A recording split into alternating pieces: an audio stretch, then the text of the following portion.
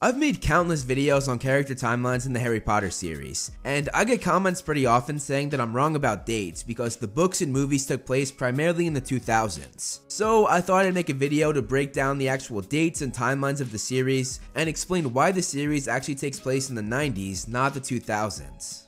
Before we start, I'm trying to grow my footprint on other social medias besides just YouTube, so it would be awesome if you guys could follow me on Twitter and Instagram. I tweet about your favorite fandoms like Harry Potter, Avatar, Star Wars, Marvel, Hunger Games, and so much more. And you can see behind the scenes movie flame stuff on Instagram, and just some of my personal life like my dog Loki, who is the cutest dog in the world, and just some fun posts on both platforms. All of my social media platforms as well as my Patreon are linked below for easy access. If you want, give me a follow. If not, that's totally fine. So now, let's get the video started.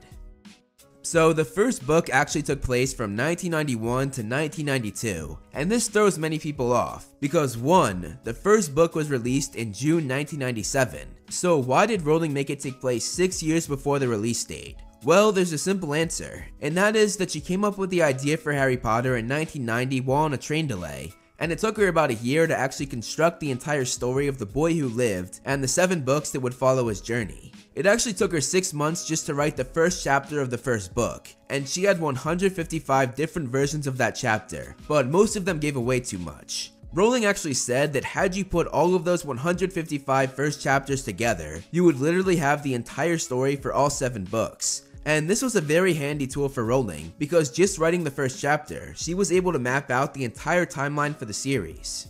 Anyway, the main reason why the first book takes place in 1991 is because that's when she began writing the actual books. Now that she had everything mapped out, which took the better part of a year, she got down to writing the actual narrative. So she made the date she started writing, 1991, the date where the series begins. And if you think about it, she sort of had to do that, because she can't predict future technology or what would be going on in the future. She doesn't know what new thing will be out when she finally finishes her first book, or even more, when it would be published, which at the time, it wasn't looking too good.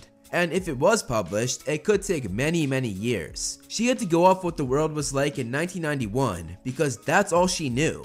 I see people who I guess we could call more casual Harry Potter fans, or fans who have only seen the films and don't know much about the books say that Deathly Hallows took place in 2010 to 2011 because that's when the final two films came out. You'd be surprised how many people say that. And the same goes for people saying that Deathly Hallows took place in 2007 because that's when the final book was released. But if we go off that logic, the logic that the dates are based on the year the books came out, then the first book came out in 1997, and the series spans over 7 years. So if you do 1997 plus 7 years, that would make the final book take place in 2004, not 2007. And the same goes for the films. If the first film took place in 2001, then the final film would take place in 2008, not 2011. Of course, none of this matters, because it takes place from 1991 to 1998. I guess these commenters didn't really think things through, and it surprises me that there are so many of them.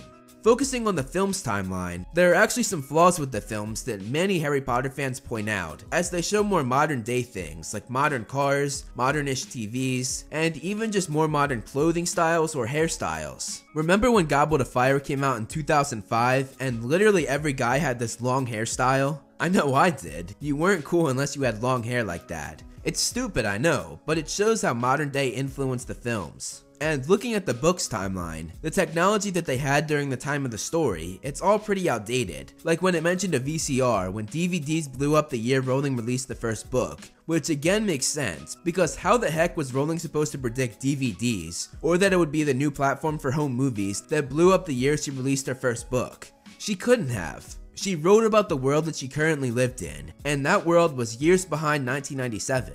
And obviously she had to carry through with this for the rest of the series, because you can't just skip a few years in between two books to catch up to modern day. And this is why the Battle of Hogwarts and the series ended in 1998. And then 19 years later clearly had to take place 19 years after 1998, not after 2007. So according to the actual timeline, the epilogue took place in 2019, whereas many fans who just go off of the book's release date think that the epilogue took place in 2026. 1991 is the year that everything is based around, whether it be in the past or the future. the dates and birthdays of Voldemort, Dumbledore, Grindelwald, the year that Harry lost his parents, the year that he went to Hogwarts, the years that the first Wizarding War took place in, all are based around that 1991 date, and that is why the series takes place in the 90s, not the 2000s.